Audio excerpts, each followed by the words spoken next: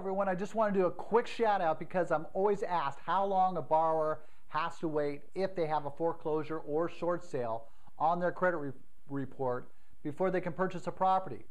What I did is I attached a link that breaks down the waiting period that a borrower has to comply to before they're eligible to purchase again. So please print this out, keep it handy. Also forward it to your colleagues, clients, and friends so they have a reference point when the question comes up again. Again, my name is Eric Gausepohl with Summit Lending. Information is below. Have a great week.